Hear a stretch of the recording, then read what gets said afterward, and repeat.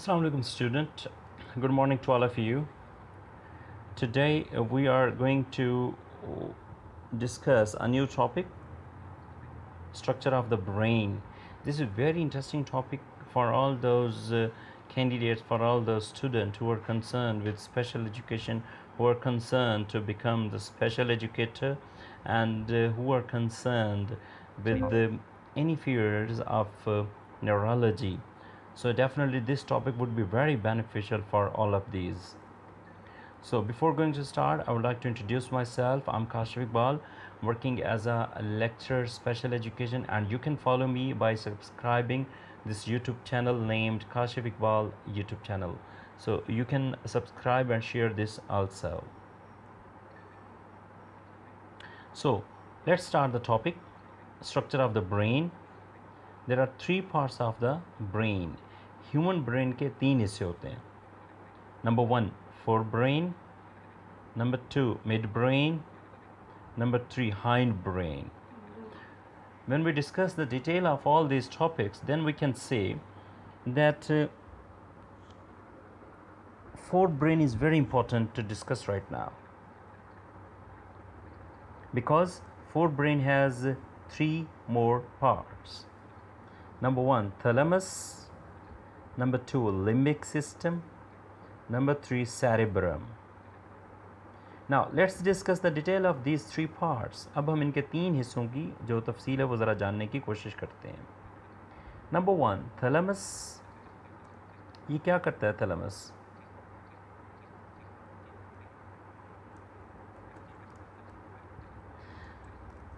thalamus carries sensory information To the limbic system thalamus limbic system की जानब जो sensory information है वो लेके जाता है। अब सेंसरी इन्फॉर्मेशन क्या होती है?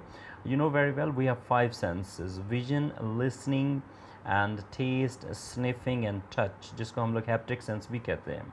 सो so, ये जो सेंसरी इन्फॉर्मेशन है ये थैलमस लेके पहुंचाता है किसको? लिम्बिक सिस्टम को। एंड सेरिब्रम आल्सो यानी कि फोर ब्रेन के जो तीन पार्ट्स हैं थैलमस है लिम्बिक सिस्टम है और सेरिब्रम है तो थैलमस लिम्बिक सिस्टम और सेरिब्रम को ये इन्फॉर्मेशन पहुंचाता है sensory information the information include sensory input from auditory and visual pathway from skin and from within the body यानी कि हमारे स्किन जब हमारे बॉडी से जो लिसनिंग या विजन जो भी इन्फॉर्मेशन यानी कि सेंसरी इन्फॉर्मेशन वो सारी की सारी पहुंचाती है। ये उसी चीज़ की ट्रांसलेशन जो मैं आपको ऑलरेडी एक्सप्लेन कर चुका हूँ। अब नंबर टू पे हम बात करते हैं लिम्बिक सिस्टम की। लिम्बिक सिस्टम क्या है? Limbic system is a curve ये एक कर्व की तरह है, ये एक आर्क की तरह है। Between the thalamus and cerebrum, यानी कि थैलमस और सेरिब्रम के जो बीच में एक कर्व है, एक आर्क है, उसको हम लोग लिम्बिक सिस्टम के नाम से जानते हैं।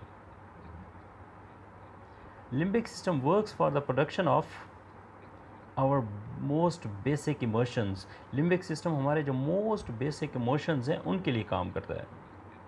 इसमें ड्राइव्स भी हैं और बिहेवियर्स भी हैं। अगर हम इनको देखें कौन कौन से ड्राइव्स या बिहेवियर हैं? It includes fear rage, trust, pleasure, sexual response and memory. So so, ये सारी चीज़ें लिम्बिक सिस्टम इनके लिए काम करता है।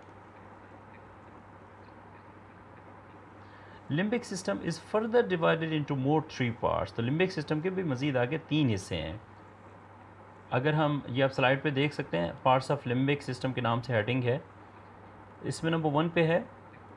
hypothalamus number 2 amygdala number 3 hippocampus now let's discuss the detail of these three points number 1 hypothalamus it is known as coordinating center of the body body का जो coordinating center वो यही hypothalamus है विच कंट्रोल्स बॉडी टेम्परेचर ये हमारे body का temperature भी control करता है। Hunger menstrual cycles water balance sleep and wake cycle तो ये सारी चीज़ें कौन कंट्रोल करता है? Hypothalamus now let's discuss amygdala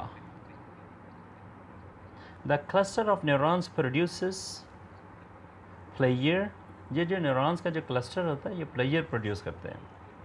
Punishment fear rage and sexual arousals तो ये क्लस्टर ऑफ़ न्यूरॉन न्यूरॉन्स का एक ग्रुप है जो ये सारी चीज़ें प्रोड्यूस करता है। Now let's discuss hippocampus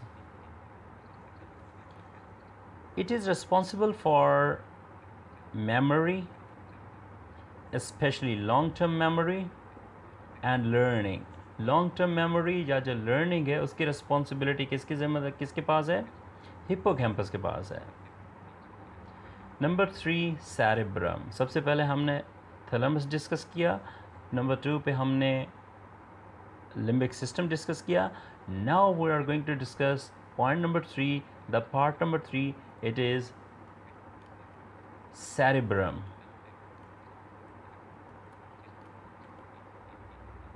Cerebrum और सेरिब्रम के बारे में कहा जाता है वन लाइन अगर डेफिनेशन इसकी की जाए the largest part of the brain और ज़रूर जहन में रखें, और वो तमाम कैंडिडेट्स जो public service commission F P S C federal public service commission या एन टी एस का एग्ज़ाम या कॉम्पिटेटिव एग्ज़ाम में अपेयर होते हैं तो उनको पता होना चाहिए, ये क्वेश्चन अक्सर पूछा जाता है कि cerebrum which is the largest part of the brain so ये जो largest part of the brain है, वो यही सैरिब्रम है। इट कंट्रोल्स वॉल्ट्री मूवमेंट ये वॉल्ट्री मूवमेंट को कंट्रोल करता है। सेंसेशन लर्निंग थिंकिंग रिमेंबरिंग और मेमोराइजिंग आल्सो कॉन्शियसनेस सो ये सारी चीज़ें सेरिब्रम की रिस्पॉन्सिबिलिटी हैं। ये उनको कंट्रोल करता है। Cerebrum is divided into two parts which are called cerebral hemispheres. अच्छा सेरिबुलर हेमिस्फीयर्स को हम मज़ीद आगे देखने की कोशिश करते हैं। इसमें राइट हेमिस्फीयर है और लेफ़्ट हेमिस्फीयर है।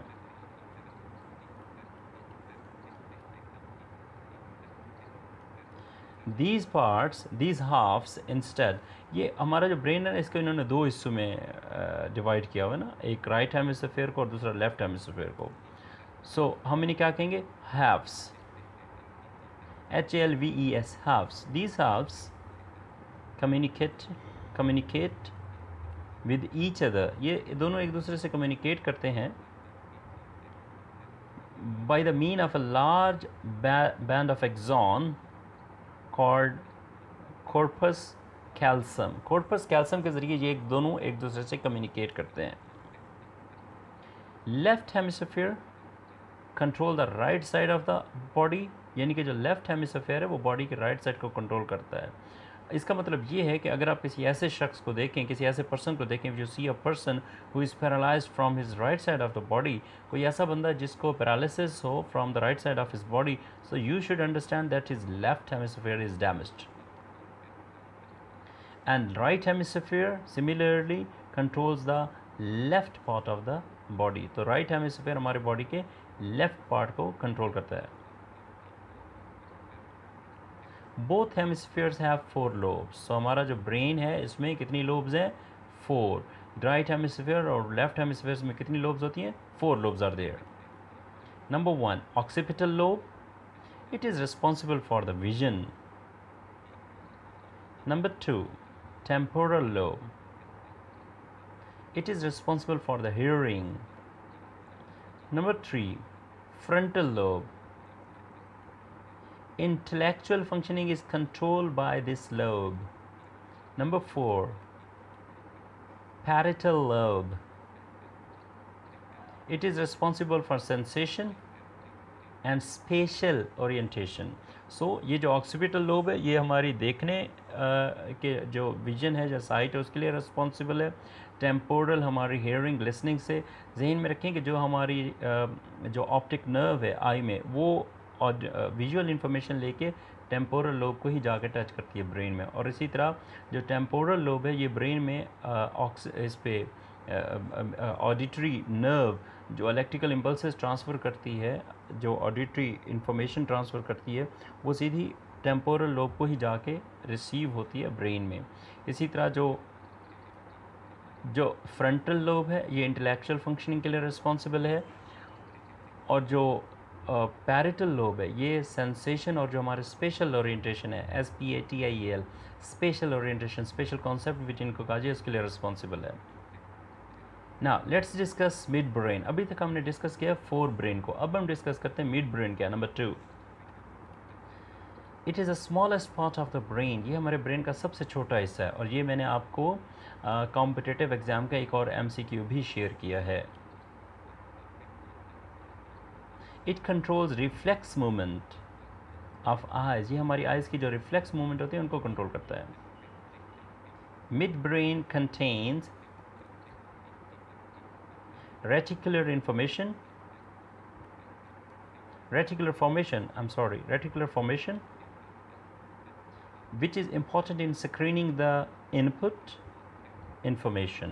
तो ये रेटिकुलर फॉर्मेशन फॉलो करता है, जिसमें दो स्क्रीनिंग की जाती है, किसी भी तरह की जो इनपुट इंफॉर्मेशन होती है उसकी। नंबर थ्री पे है hind brain hind brain contains अब हाइंड ब्रेन में कौन कौन सी चीज़ें आ जाती हैं, हम ज़रा उसको देखते हैं। Number one medulla number two pons number three cerebellum. now let's discuss these three uh, parts in detail which are considered in uh, hind brain सबसे पहले हम देखते हैं मेड्यूला को number one medulla